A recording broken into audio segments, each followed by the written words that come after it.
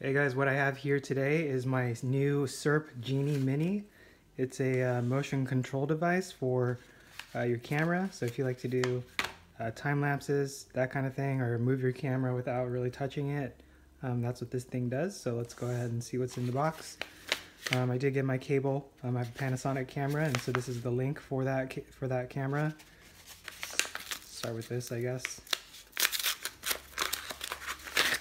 So standard standard link, one for the Genie and the other for the camera. Let's see what's in this.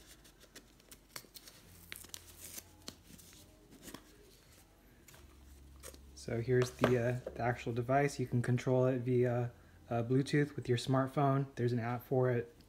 And basically what it does is, if you haven't heard of it before, it just rotates your camera on your tripod or if you just put set it down on, on the ground, it'll rotate it.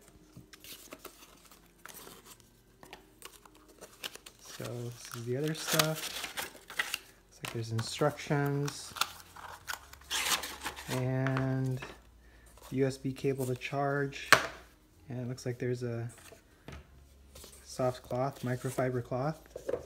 And that's about it. So hopefully I can take some uh, good, cool looking time lapses with this thing.